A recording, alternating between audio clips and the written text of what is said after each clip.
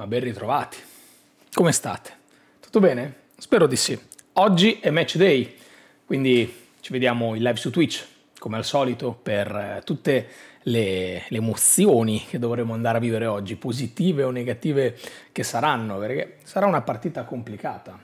Sarà una partita difficile, anche ieri ne abbiamo parlato insieme ad Avom, eh, la conferenza stampa di Tiago Motta è stata molto orientata sul eh, anche lodare l'avversario, non sottovalutare l'avversario, capire che hanno un determinato stato di forma, perché stanno andando molto molto molto bene in Olanda.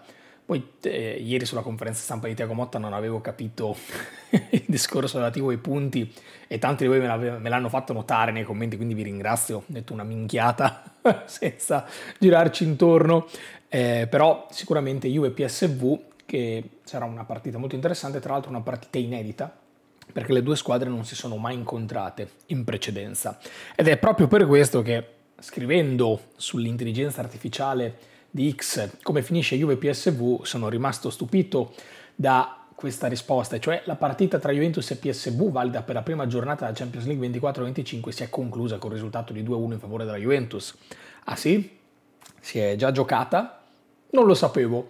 Mi fa piacere sapere che abbiamo vinto questa partita, mi dispiace soltanto non averla vista in diretta insieme a voi, commentata insieme a voi. Scherzi a parte, l'intelligenza artificiale è andata a tirare fuori praticamente questa, questo risultato che non può essere un risultato di un precedente perché non si sono mai incontrate e appunto va a specificare che è questa partita, quindi non lo so, guardateci voi eh, come può andare a finire, io vi avevo raccontato un mio sogno, andiamo sotto 1-0 vinciamo 5-4 al novantesimo, questo era stato il mio sogno in precedenza, iniziano ad essere troppe cose positive, quindi ridimensioniamoci anche perché sarà una partita difficile, complicata contro un'avversaria per nulla scontata che in patria fa sempre molto bene, poi è ovvio che la Champions è un livello differente, però la Juventus in questo, in questo, momento ha avuto dei problemi nelle ultime due partite a sviluppare una manovra offensiva ed è proprio da qui che nasce un po' l'idea di questo video perché, perché stiamo leggendo che Tiago Motta avrebbe pronte delle novità, vorrebbe cambiare la formazione, sta cercando una nuova configurazione. Tra l'altro Guido Tolomei, che saluto, ciao Guido, eh, che in questa stagione sembra davvero quello più informato sulle formazioni, eh, vi, vi, do un'indicazione, aveva indovinato qualche ora prima, nella prima partita tra Juventus e Como, il fatto che Gatti sarebbe stato capitano, che Douglas Luiz sarebbe partito dalla panchina, che Bangula sarebbe stato titolare. Io mi ricordo quel tweet eh, era pieno di commenti, l'ho visto soltanto il giorno dopo, ma era pieno di commenti di persone che dicevano sì vai, eh, inventatene un'altra, invece Guido ci ha azzeccato e ha dato dimostrazione che in questa stagione ha dei contatti abbastanza importanti e interni probabilmente anche alla Juventus stessa. Quindi eh, ieri quando ho letto, anzi stamattina quando ho letto il suo tweet dicendo che il centrocampo di Tiago Motta potrebbe, quindi segnale che non è ancora stata decisa la formazione, potrebbe essere molto particolare, mi si è accesa un po' una lampadina. Faccio un passo indietro. La conferenza stampa di ieri aveva Locatelli quindi io immagino che Locatelli partirà titolare, che quindi ci sarà spazio per lui. Chi altri? Beh, se dobbiamo andare a prendere il miglior centrocampista sulla carta della Juventus, cioè con Mainers, sarei stupito di vederlo fuori in questa prima partita di Champions League. E poi ci sarebbero da incastrare altre cose dal punto di vista tattico. Poi aggiungiamo che nelle ultime ore si sono aggiunti anche altri nomi come prima Turam e poi invece Turam sembra che non giocherà, sembra che giocherà invece McKenny, addirittura separato di un McKenny sull'esterno, segno che comunque si sta un po' sperimentando, che comunque negli ultimi allenamenti c'è stata questa volontà di cambiare, io ho pensato a questa cosa qui.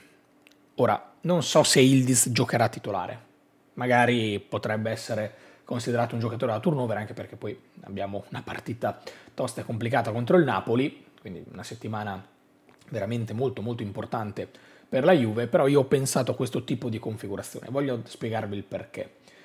Perché Locatelli, che ieri era in conferenza stampa, secondo me giocherà, giocherà al posto di, di Turam, che non è, magari non è ancora al 100%, magari non ha ancora tutti i minuti nelle gambe dopo l'infortunio, bisogna andarci anche un po' cauti con questo tipo di stop, ma l'ho pensata in questo modo per un motivo.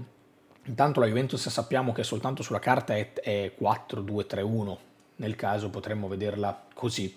Però è un po' un centrocampo che va a ricalcare l'idea di avere un mediano, quindi Locatelli o Turam, secondo me Turam sarà titolare in questa stagione, però Locatelli fino adesso le ha giocate tutte. Un trequartista che sarà Ildis, giocatore che partirà leggermente decentrato dalla sinistra, è un giocatore di raccordo di, di rifinitura come Cobb Mainers. Tra virgolette, Cobb Mainers sarebbe una mezzala destra, l'abbiamo visto anche con l'Empoli, l'abbiamo visto anche con la Roma, con Mainers tende comunque ad abbassarsi, tende ad andare a ricercare il pallone.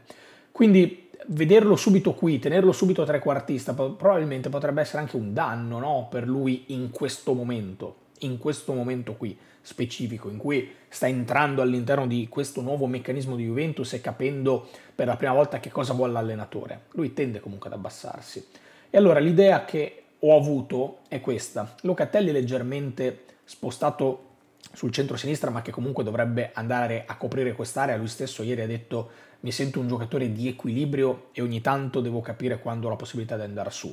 Questo per me è il ruolo perfetto di Turam, ve l'ho già detto, però vi ho spiegato perché per me giocare a Locatelli.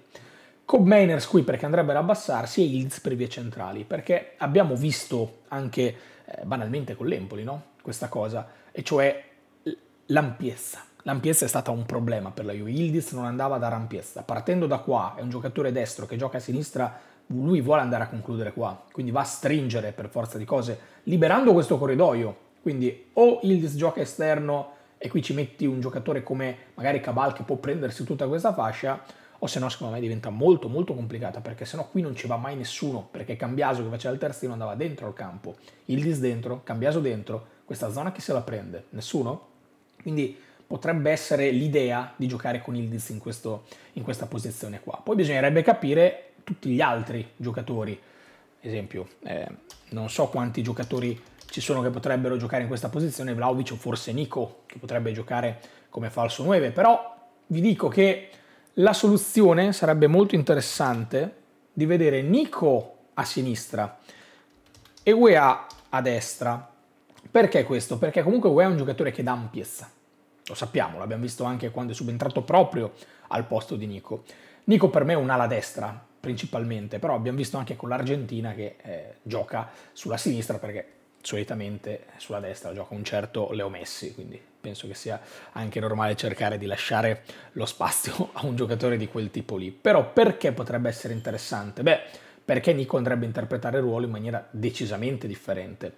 Se sul centro-destra, sull'esterno destro, va a convergere verso il centro per liberare il sinistro, qui andrebbe a sfruttare il sinistro. Quindi l'ampiezza l'andrebbe a garantire. In questo caso avresti UEA destro sulla destra e Nico che mancino sulla sinistra, con Ildis che parte qua ma va qua e Cobeners che adora stare in questa zona. Ecco, questa è una configurazione che secondo me è ideale per cercare di risolvere quelle che sono le problematiche che abbiamo visto con l'Empoli. Poi è ovvio che qua può giocare Bangula, abbiamo già visto, magari al posto di Ildis ne giocherà un altro, non lo sappiamo, magari il Cobeners qui è qui un altro centrocampista, non ve lo so dire, però vi posso garantire che secondo me dal punto di vista tattico questa potrebbe essere una soluzione abbastanza interessante. Quindi voglio sapere anche un po' la vostra, secondo me, secondo voi Tiago Motta cambierà tanto? Sarà una partita in cui farà tanto turnover? Ci saranno degli esperimenti o saranno soltanto dei piccoli accorgimenti per cercare di risolvere determinate situazioni? Chi vivrà vedrà, ma tanto la Juventus gioca oggi pomeriggio, finalmente torna alla Champions League, ho già la musichetta nelle orecchie e davvero non vedo l'ora di assistere a questa partita e sono curioso di vedere se l'intelligenza artificiale o il mio sogno ci avranno beccato. Sono anche un po' teso perché capisco che sia una partita complicata. Alla fine, se devo esprimermi io in un pronostico, vedo più probabile un pareggio oggi. Avevo pronosticato 4 punti in queste due partite di Champions League, quindi oggi potrei quasi aspettarmi un pareggio. Sono curioso di sapere anche la vostra qui sotto nei commenti. Ciao ragazzi, ci vediamo oggi pomeriggio in live su Twitch.